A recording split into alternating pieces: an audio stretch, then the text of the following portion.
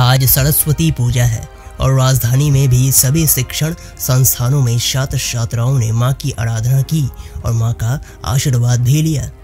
वहीं कई शिक्षण संस्थानों में छात्र छात्राओं ने सांस्कृतिक कार्यक्रम भी प्रस्तुत किए।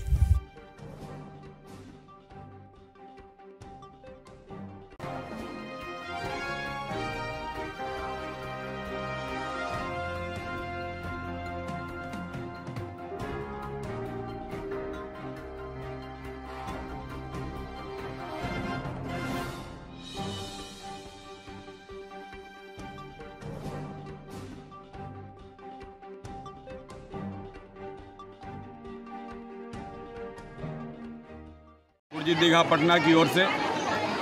साइंस एवं पब्लिक स्कूल के बच्चों के द्वारा रंगारंग कार्यक्रम का आयोजन किए हैं, जिसमें तमाम हमारे बच्चे प्ले से लेकर के ऊँचे क्लास तक के सारे बच्चे इस कार्यक्रम में भाग ले रहे हैं। और इस कार्यक्रम के द्वारा हम संदेश देना चाहते हैं कि टैलेंट सबके अंदर छिपी हुई है।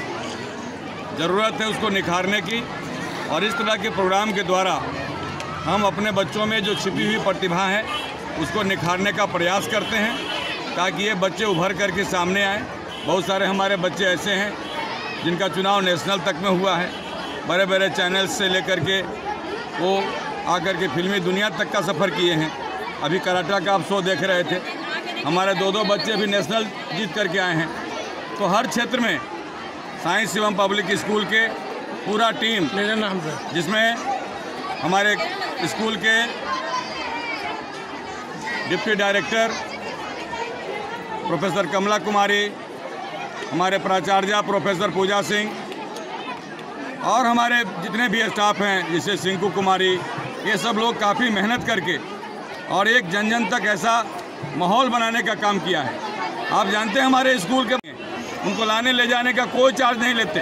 Free transportation, free admission, free computer, free martial art, free smart classes, examination fees तक नहीं लेते हैं। और मात्र केवल 500-600 टाइप का फ़ीस है।